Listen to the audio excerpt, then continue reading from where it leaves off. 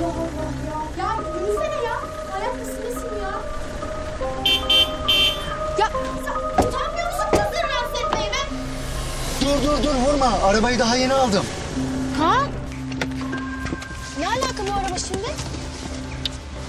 Babaannemle barıştım. Gördüğün gibi bu da hediyesi. Ha kesin barışmışsındır sen. Aman neyse ya. Barış barışma bana ne yani. Sen yeter ki rahat bırak beni. Cemre. Artık yapma böyle. Biliyorum kızgınsın ama bana son bir şans daha ver. Elimden geleni yapacağım. Ay yapma sen bana bir şey ya. İstemiyorum bir şey yapmanı. Haksız olmasam yanına kadar gelir miyim?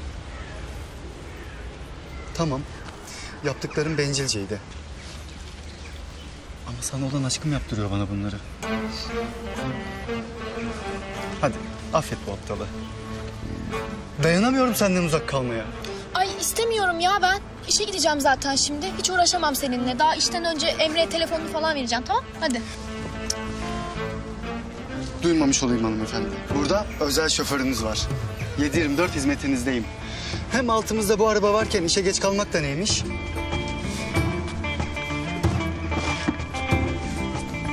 Buyurunuz küçük hanım.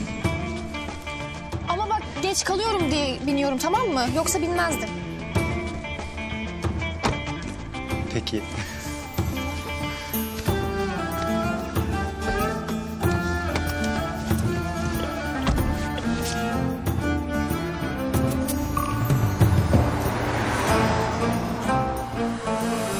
Emre'nin emanetini verdikten sonra biraz gezer miyiz Cemre? Kaan senin algılarında bir problem var galiba. İşe geç kalıyorum diyorum. Bırakmam. Bugün benimsin. Ha kovulayım sonra yine değil mi? Vallahi ben hiç gitmemezlik falan yapamam işi. Zaten zengin bir babaannem de yok. Merak etme, kovulmayacaksın. Zaten şu an çalışıyorsun.